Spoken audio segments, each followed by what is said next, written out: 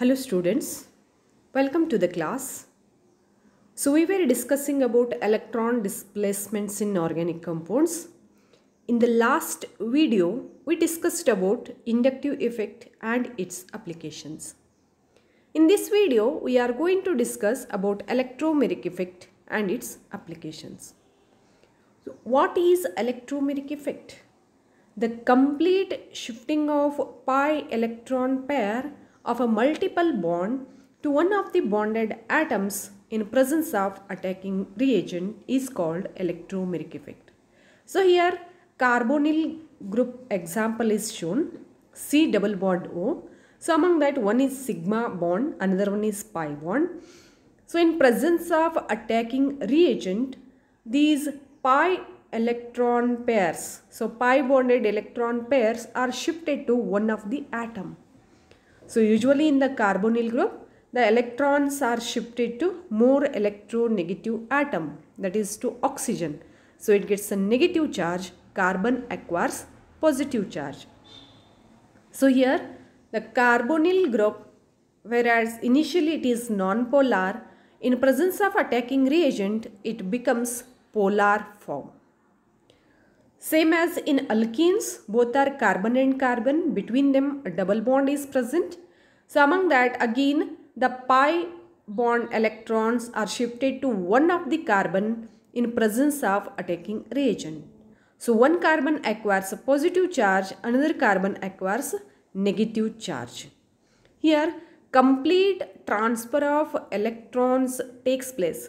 So the complete charge is formed whereas in inductive effect just shifting of pair of electrons towards one of the atom so that partial charges are created. Whereas in electromeric effect complete charges are created so a non-polar covalent bond becomes polar. So electromeric effect is it is a temporary effect takes place only in presence of attacking reagent. Remember, in the inductive effect, no attacking reagent is required. But in electromeric effect, it, it takes place only in presence of attacking reagent. Occurs in compounds having multiple bonds. So there may be double bond or triple bond between the atoms so in such compounds electromeric effect will be seen because here shifting of pi electrons takes place. The displaced electrons leave their orbitals and take a new position so that here complete charges are created. Thus complete transfer of electron takes place and charges are created. There are two types of electromeric effect. One is positive electromeric effect and that is uh, represented as plus E effect. Another one is negative electromeric effect. Another that is minus E effect. Positive electromeric effect. In this effect, the pi electrons of the multiple bond are transferred to that atom to which reagent gets attached. So example is shown here. The electrophile H plus is going to attack which carbon? This carbon. So towards that, towards the same carbon, the pi electrons are shifted so that this carbon becomes negative to that H plus will attack. So CH bond is formed whereas the another carbon loses electron gets a positive charge. So this is called positive electromeric effect. The pi electrons of multiple bond are transferred to the atom to which reagent get attached. So if uh, attacking reagent is an electrophile then positive inductive effect is uh, sorry positive electromeric effect is observed. Another one is negative electromeric effect. In this effect pi electrons of multiple bond are transferred away from the atom to which reagent get attached. Hmm? They are transferred away from the atom to which the reagent gets attached. or in other another form we can say if the attacking reagent is a nucleophile then negative inductive effect is observed. So this nucleophile suppose it attacks this carbon the pi electrons are shifted to another carbon so it acquires a negative charge this carbon acquires a positive charge so that nucleophile get attached to this carbon. These are positive inductive effect and negative inductive effect.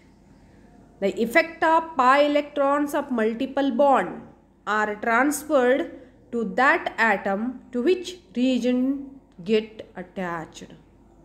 In the negative inductive effect, the pi electrons of multiple bond are transferred away from the atom to which reagent gets attached. Hmm? Applications of electromeric effect. Electromeric effect plays an important role in writing mechanism of electrophile and nucleophile addition reactions. Okay, electrophilic addition and nucleophilic addition reactions. So that reactions may be expressed as plus electromeric effect and negative effect electromeric effect. See for example in electrophilic addition reactions, how to write the mechanism of electrophilic addition reactions. So it exerts here positive inductive, uh, sorry, positive electromeric effect.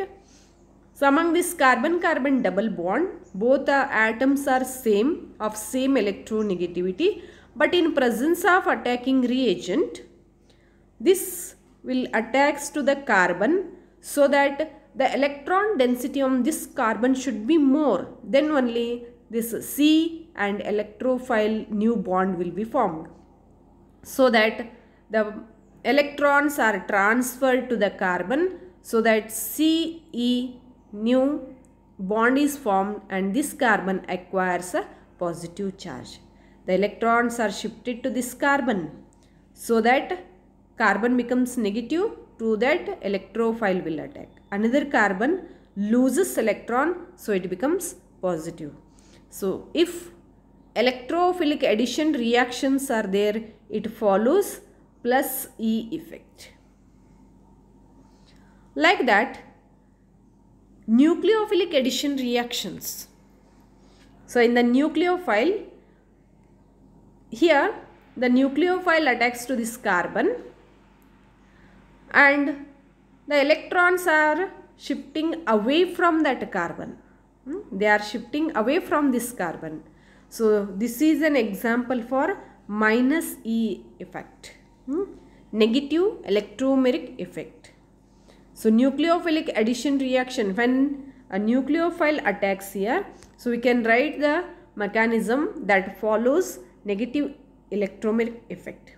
Nucleophile attacks the carbon so that pi electron pairs are shifted to next carbon so that this carbon loses electron so nucleophile attacks to that new carbon nucleophile bond is formed this carbon acquires a negative charge so that to next electrophile attacks and it gives the substituted product or addition product same as the electrophilic substitution reactions in the aromatic compounds. So let us see suppose the electrophile going to attack in the benzene. So all the six bonds are same in the benzene. So when the electrophile attacks this carbon, the pi electron is shifted towards that carbon so that one carbon acquires negative charge, another one acquires positive charge. So the electrophile goes to the carbon which having negative charge and other carbon acquires positive charge. So here plus induct, uh, electromeric effect is seen. So in the new uh, electrophilic substitution reactions of aromatic compounds or the aromatic nucleus positive electromeric effect is observed. What are the difference between inductive effect and electromeric effect? So we already studied what is inductive effect, what are its applications. Hmm? And now see the uh, study the difference between inductive effect and electromagnetic effect. So we know that inductive effect involves permanent displace of an electron pair of a molecule. But electromagnetic effect involves temporary displacement of pair of pi electrons. So only in presence of attacking reagent there is a shifting of electrons takes place in the multiple bonds that is in electromagnetic effect but when the attacking reagent is removed the effect is also reversed but in the inductive effect that is depends upon the difference in the electronegativities of the atoms which are involved in that bond so therefore it is permanent effect Presence of attacking reagent is not essential in inductive effect, but presence of an attacking reagent is essential in electromagnetic effect. So only in presence of attacking reagent this effect is observed. Inductive effect their presence of a multiple bond is not essential but polarity of a bond is essential that is there should be difference in the electronegativities of the atoms involved in that bond. But in the electromagnetic effect, multiple bond is essential because here the shifting of pi electrons takes place. Therefore, multiple bond is essential. The displaced electron pair does not leave its molecular orbital. There is only distortion in shape of the molecular orbital that is in the inductive effect. But in electromagnetic effect, the electron pair which gets transferred completely leaves its molecular orbital and takes up a new position. In inductive effect, there is a partial charge separation but in electromagnetic effect complete charge separation takes place. Due to the partial charge separation there is no ions are formed in inductive effect only a slight positive and negative charge is observed but in electromeric effect complete charge separation takes place. Therefore ions are formed. One is positive another one is negative.